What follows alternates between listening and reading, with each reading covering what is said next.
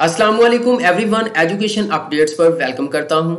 Students के लिए good news है। गवर्नमेंट ऑफ़ पाकिस्तान की तरफ़ से वफाकी मोतसिब सेक्ट्रिएट के अंदर इंटर्नशिप प्रोग्राम का ऐलान किया गया है। पूरे पाकिस्तान से male and female students apply कर सकते हैं। महाना बीस हज़ार रुपये वजीफ़ा भी मिलेगा। कौन से स्टूडेंट्स अप्लाई करेंगे? क्या रिक्वायरमेंट्स हैं? और आप लोगों ने एप्लीकेशन फॉर्म कहाँ से डाउनलोड करके अप्लाई करना है? ये तमाम तर डिटेल्स आज की वीडियो में आप लोगों के साथ शेयर करूँगा। लेकिन उससे पहले अगर आप मेरे चैनल एजुकेशन अपडेट्स पर नए हैं तो वीडियो के नीचे आपको एक रेड बटन नज़र आएगा, उसे प्रेस करें। चैनल सब्सक्राइब करके बेल आइकन को प्रेस कर दें, ताकि मजीद आने वाले internship program scholarship jobs and latest educational updates सबसे पहले आप लोगों को मिल सकें। डियर स्टूडेंट्स मुझे पता है कि आप मेरी वीडियोस को रेगुलर देखते भी हो लाइक भी करते हो, लेकिन चैनल को सब्सक्राइब नहीं करते। तो जल्दी जल्दी से इस चैनल को आप पहले सब्सक्राइब कर दें, फिर हम वीडियो को शुरू कर देंगे। उम्मीद करता हूँ आपने चैनल को सब्सक्राइब कर दिया होगा तो स्टार्ट करते हैं जी। जी तो यहाँ पर आपको एडवर्टाइजमेंट नज़र आ रही होगी। वफाकी मोतसिब सेक्ट्रिएट इस्लामाबाद एक वफाक का इदारा है, जिनकी तरफ़ से ये इंटर्नशिप प्रोग्राम का ऐलान किया गया है। उनका कहना है, मैं साथ में हाईलाइट भी कर देता हूँ, ताकि आपको क्लियर जो है वो समझ आ सके। उनका कहना है जी ये इंटर्नशिप प्रोग्राम के लिए जो एप्लीकेशन है, वो चार महीने के लिए जो है वो आपकी इंटर्नशिप होगी। ठीक है? और ये एक्सटेंडेबल भी है, यानी कि आपकी इस इंटर्नशिप प्रोग्राम को एक्सटेंड भी किया जा सकता है। ठीक है? वैसे उन्होंने बता दिया कि चार महीनों के लिए ये इंटर्नशिप होगी, लेकिन एक्सटेंड भी हो सकती है। ठीक है? उसके बाद नेक्स्ट इसका मकसद क्या है इंटर्नशिप का? ठीक है उनका कहना है कि इंटर्नशिप हम जो है वो इसलिए स्टार्ट कर रहे हैं ताकि आपको सीनियर लीडर से जो है वो कुछ डेवलपिंग स्किल्स सीखने को मिलें, ठीक है? कुछ फ़ंक्शंस मैं आपको बता देता हूँ, क्या फ़ंक्शन सीखने को मिले, ठीक है? स्क्रॉल डाउन करता हूँ। यहाँ पर आप देख सकते हैं, आपको कुछ पॉइंट्स नज़र आ रहे होंगे। अच्छा एक और चीज़ वीडियो थोड़ी सी लंबी ज़रूर हो जाएगी, लेकिन ए टू जी आपको तमाम चीज़ें समझ आ जाएँगी। आप जो है वो वीडियोस को फॉरवर्ड प्रीवियस कर, करके देख लेते हो देन आपके सामने बहुत से क्वेश्चंस आ जाते हो पूछना शुरू कर देते हो। मैं ए टू जी गाइड करता हूँ, ठीक है? मैं आपको तमाम रिक्वायरमेंट्स भी बताऊँगा अप्लाइंग प्रोसीजर भी बताऊँगा, लेकिन स्टार्ट से एंड तक वीडियो पूरी देखनी है स्किप नहीं करना। तला फिर कोई क्वेश्चन नहीं रहेगा आपका। इन्वेस्टिगेशन ऑफ़ केसेस ये कुछ आपको जो बता रहा हूँ, ये सीखने को मिलेगा इंटर्नशिप के दौरान। Investigation of cases federal government organization and agencies ठीक है? Implementation okay investigation wing administration wing accounts wing ठीक है? Coordination wing dealing with study of systemic issues and new initiatives ठीक है? ये सब कुछ जो है वो आपको सीखने को मिलेगा चार महीने की इंटर्नशिप प्रोग्राम में। ठीक है? अब बात कर लेते हैं एलिजिबिलिटी क्राइटेरिया ठीक है? नेक्स्ट पढ़ते हैं। यहाँ पे है जी एलिजिबिलिटी क्राइटेरिया सबसे पहले जी उनका कहना है fresh graduates and post graduates apply कर सकते हैं। अब ग्रेजुएट्स का मतलब बैचलर भी हो सकता है, लेकिन बैचलर में बीएस प्रोग्राम ठीक है पोस्ट ग्रेजुएट में मास्टर एम वाले। यानी कि मिनिमम 16 इयर्स एजुकेशन वाले ही अप्लाई कर सकते हैं 16 साल एजुकेशन वाले। और 16 साल एजुकेशन में आपका सिर्फ़ बीएस आता है, या बी कॉम ऑनर्स आता है, यही आता है, ठीक है? लेकिन नेक्स्ट उन्होंने ये भी बताया हुआ है कि कौन सी फ़ील्ड वाले जो है वो लोग अप्लाई करेंगे, ठीक है? फ़ील्ड बता देता हूँ आपका। यहाँ पे फ़ील्ड कुछ इस तरह से है हाईलाइट करूँ। यहाँ पे देखें 16 साल एजुकेशन बता दिया। वो कह रहे हैं कि social sciences any field of social sciences social sciences आपकी डिग्री आती है तो वो लोग अप्लाई करेंगे और वो कह रहे हैं कि हम तरजीह इन लोगों को देंगे।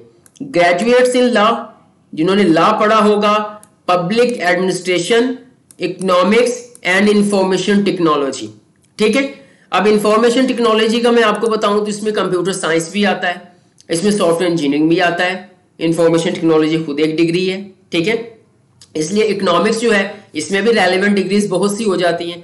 पब्लिक एडमिनिस्ट्रेशन के अंदर बहुत सी डिग्रीज आ जाती हैं। ग्रेजुएट्स इन लॉ के अंदर बहुत सी डिग्रीज आ जाती हैं। और सोशल साइंसेज के अंदर तो वो एक लंबी लिस्ट है ना, वो लोग सारे अप्लाई कर सकते हैं और तरजीह इन लोगों को देंगे। लेकिन ऐसा नहीं है कि आप अप्लाई ना करो कि पता नहीं हम, हमें तरजीह मिलती है या नहीं। अगर आप सोशल साइंसेज के अंदर आपकी डिग्री आती है तो आप लाजमी अप्लाई करें। अब बात कर लेते हैं एज ग्रुप के हवाले से, ठीक है? यहाँ पे एज ग्रुप कुछ इस तरह से है, तेईस साल से लेकर 28 साल तक जो स्टूडेंट्स हैं, वही इस इंटर्नशिप प्रोग्राम के लिए अप्लाई कर सकते हैं। ठीक है? नेक्स्ट बढ़ते हैं। नेक्स्ट में नेशनैलिटी है, पाकिस्तानी अप्लाई कर सकेंगे बस। मिनिमम परसेंटेज की बात करते हैं सेवेंटी परसेंट मार्क्स वाले या फिर टू पॉइंट कम अज कम। यानी कि अगर तो आपके मार्क्स सिस्टम है अकेडमिक सिस्टम है आपका, ठीक है? तो सत्तर फ़ीसद मार्क्स इससे कम वाले अप्लाई नहीं कर सकते। लेकिन अगर आपका सी जी पी ए सिस्टम है तो 2.9 सी जी पी ए से कम वाले अप्लाई नहीं कर सकते 2.9 तक अप्लाई कर सकते हैं। जेंडर मेल एंड फीमेल दोनों अप्लाई कर सकते हैं, दोनों एलिजिबल हैं। यहाँ पे एम्प्लॉयमेंट स्टेटस के हवाले से आप कहीं पे भी जो है वो गवर्नमेंट या प्राइवेट टीचर या गवर्नमेंट या प्राइवेट एम्प्लॉय नहीं होना चाहिए। बिल्कुल फ्रेश बेरोजगार, ठीक है? स्टूडेंट स्टेटस आप जो है वो किसी भी अदारे के पब्लिक या प्राइवेट के स्टूडेंट भी नहीं होने चाहिए। मतलब कि बाज़ात ये होता है कि हम घर बैठे अलामा इकबाल ओपन यूनिवर्सिटी से कुछ कर रहे होते हैं, ठीक है? मास्टर वगैरह या हम किसी और यूनिवर्सिटी से एम कर रहे होते हैं वीकेंड क्लासेस में स्टूडेंट भी नहीं चलेगा, एम्प्लॉय भी नहीं चलेगा। चार महीने आपने वहाँ पर रह के जो है ये काम करना है इंटर्नशिप करनी है। आपको किसी किस्म का जो है वहाँ पर इजाज़त नहीं होगी स्टडी की या साथ साथ में जॉब की। चार महीनों के बाद आप जो कुछ मर्ज़ी करें, ठीक है? नेक्स्ट पे स्टिपेंड यानी कि वजीफा मेन चीज़ होती है ये। अब वजीफा कितने? बीस हज़ार पर मंथ आपको वजीफा दिया जाएगा। सिर्फ़ आपका जो चार महीने है या फिर इसको एक्सटेंड किया जाता है तो उसी ड्यूरेशन के अंदर आपको बीस हज़ार पे वजीफा दिया जाएगा। नेक्स्ट पे अवार्ड ऑफ़ सर्टिफिकेट सर्टिफिकेट भी मिलेगा। कंप्लीशन कंप्लीशन ऑफ़ मतलब कि जब आपकी इंटर्नशिप कंप्लीट होती है देन आपको सर्टिफिकेट भी प्रोवाइड किया जाएगा, लेकिन उसकी भी एक शर्त है 95 percent marks sorry 95 percent attendance आप लोगों की होनी चाहिए इंटर्नशिप के अंदर। ठीक है? और दूसरा, आपके जो है वो परफॉर्मेंस भी अच्छी होनी चाहिए। मुतमिन हूँ वो आपकी परफॉर्मेंस से। कि आप काम अच्छा कर रहे हैं, आप अच्छी इंटर्नशिप ले रहे हैं देन आपको जो है वो सर्टिफिकेट प्रोवाइड करेंगे। No T A D A यानी कि इंटरव्यू के लिए आने पर आपको किसी किस्म के सफरी अखराज नहीं दिए जाएँगे। ओनली शॉर्ट लिस्टेड कैंडिडेट्स को इंटरव्यू के लिए बुलाया जाएगा। ठीक है? अब बात कर लेते हैं, ये उम्मीद करता हूँ रिक्वायरमेंट्स भी आपकी क्लियर हो गई होंगी। तमाम तर डिटेल्स जो आपके मरात वजीफा वगैरह मिलना है, वो सारा क्लियर हो गया होगा। ठीक है? अब बात कर लेते हैं अप्लाई करने का तरीका। अप्लाई करने के तरीके उन्होंने दो बताए हैं। एक आप ऑनलाइन एप्लीकेशन जो ईमेल है, उसके थ्रू भी कर सकते हैं मेल भी कर सकते हैं। दूसरा, आप बजरिया डाक भी अपने डॉक्यूमेंट सेंड कर सकते हैं। वो कह रहे हैं, अगर तो आपने बजरिया डाक डॉक्यूमेंट सेंड करने हैं तो आपको एप्लीकेशन फॉर्म डाउनलोड करना पड़ेगा, उसे फिल करना पड़ेगा, तमाम डॉक्यूमेंट्स उसके साथ अटैच करने पड़ेंगे, फिर आपने एड्रेस पर भेजने एप्लीकेशन फॉर्म की तरफ़ बाद में बढ़ते हैं। वो भी मैं आपको बताऊँगा आपने कहाँ से डाउनलोड करना है और एप्लीकेशन फॉर्म को कैसे फिल करना है। उससे पहले मैं आपको ऑनलाइन का बता देता हूँ। यहाँ पे देखें जी, आपको एक ईमेल एड्रेस दिया गया है। हाईलाइट कर देता हूँ, चाहे तो स्क्रीनशॉट ले लें यहाँ पे। वफाकी ये मोहसिब ठीक है admin one at sign Gmail dot com है। उनका कहना है कि आपने सॉफ्ट फॉर्म के अंदर एप्लीकेशन फॉर्म को फिल करना है सॉफ्ट फॉर्म में, ठीक है। उसके साथ आपने अटेस्टेड कॉपीज जो है वो अटैच करनी है। और आपने इस ईमेल एड्रेस के ऊपर जो है वो ऑनलाइन भेज देना है। ठीक है? और बाकी भी सेम प्रोसीजर है। अटेस्टेड कॉपीज आपकी होंगी, सारा कुछ एप्लीकेशन सब कुछ। अगर आप बजरिया डाक भी भेजना चाहते हैं तो ये वाला जो है वो एड्रेस है। यहाँ पर आपने सेंड करना है the director admin Wafaqi Mohtasib secretariat opposite supreme court of Pakistan constitution avenue Islamabad. Constitution avenue Islamabad. यहाँ पर आपने बजरिया डाक। एक और चीज़ क्लियर कर दूँ। ऑनलाइन अप्लाई करना है या आपने बजरिया डाक दोनों काम नहीं करने। कि आप ऑनलाइन भी अप्लाई कर दें यानी मेल भी उनको कर दें फिर आप बजरिया डाक जो है उनको भेजते फिर। उन्होंने यहाँ पर आपको क्लियर बता दूँ यहाँ पे और यू, यूज़ किया गया है या या ये काम कर ले या ये काम कर ले। ठीक है? अगर इसके रिलेटेड आपका कोई भी क्वेश्चन हो आप पूछ सकते हैं कमेंट सेक्शन में। दूसरी चीज़ सब लोग अप्लाई करेंगे ठीक है? जब इंटरव्यू डेट्स आएँगी तो इनशाला तला फ़ौरन वीडियो बना के अपलोड करूँगा, क्योंकि जो मैं वीडियो बनाता हूँ, फिर उसी डिपार्टमेंट के साथ मैं टच में रहता हूँ। जैसे इंटरव्यू डेट्स या टेस्ट डेट आती है, फ़ौरन वीडियो बना के अपलोड करता हूँ। लेकिन जिन्होंने चैनल को सब्सक्राइब करके बेल आइकन को प्रेस किया होगा, उनको ही वो नेक्स्ट वीडियो मिलेगी इस हवाले से। ज़ाहिर बात, जो सब्सक्राइब नहीं करेंगे, उनकी भी वीडियो मिस हो जाएगी। नेक्स्ट बढ़ते हैं जी हम एप्लीकेशन फॉर्म की तरफ़ बढ़ते हैं। इसी एडवर्टाइजमेंट के साथ उन्होंने एप्लीकेशन फॉर्म दिया हुआ है, यहाँ पे देख सकते हैं आप।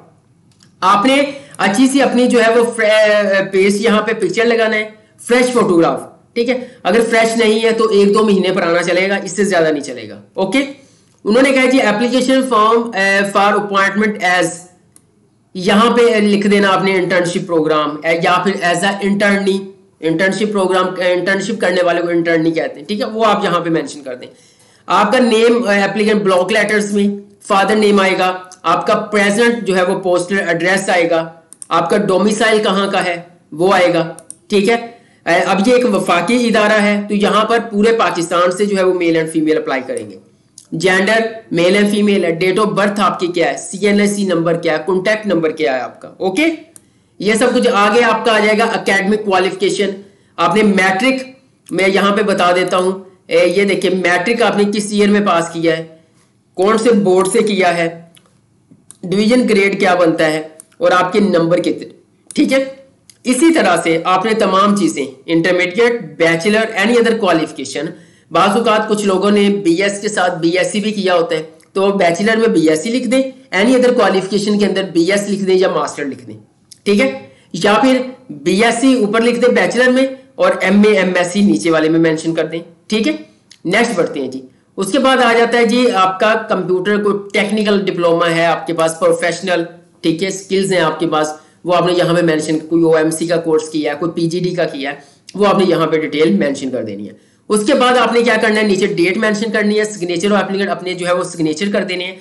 और ये फिल करने के बाद, ठीक है, आपने तमाम जो यहाँ पे डाटा ऐड किया वो तमाम डॉक्यूमेंट्स आपने साथ में अटैच करने अटेस्टेड ठीक है। और आप बजरिया डाक उसको भेज देंगे इस एड्रेस के ऊपर। ठीक है ना? पंद्रह मई तक आपका एप्लीकेशन फॉर्म जो है वो डिपार्टमेंट में पहुँच जाना चाहिए। पंद्रह मई 2022 अप्लाई करने की लास्ट डेट है। अगर ऑनलाइन मेल करते हो तो यही तमाम प्रोसीजर है जस्ट वो आपने सॉफ्टवेयर में अपने डाटा को कन्वर्ट कर लेना है और इस ईमेल एड्रेस के ऊपर जो है वो आपने भेज देना है, यहाँ पर। उम्मीद करता हूँ आपको ये तमाम तर चीज़ें समझ में आ गई होंगी।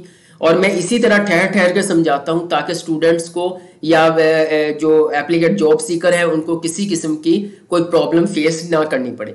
अगर फिर भी आपका कोई भी क्वेश्चन है तो कमेंट सेक्शन में कमेंट कीजिएगा, मैं आपको रिप्लाई कर दूँगा। वीडियो अच्छी लगी है तो लाइक करें, दोस्तों के साथ शेयर करें चैनल शेयर करें सॉरी दोस्तों के साथ शेयर करें एजुकेशन अपडेट्स को सब्सक्राइब करके बेल आइकन को प्रेस कर दें, ताकि जैसे इनकी इंटरव्यू डेट्स आए, उनकी वीडियो का नोटिफिकेशन फ़ौरन आप लोगों को मिल जाए। आज के लिए इतना ही। इनशाला मैं आपके लिए नेक्स्ट वीडियो लेकर दोबारा हाजिर हूँ तब तक के लिए अल्लाह हाफिज़।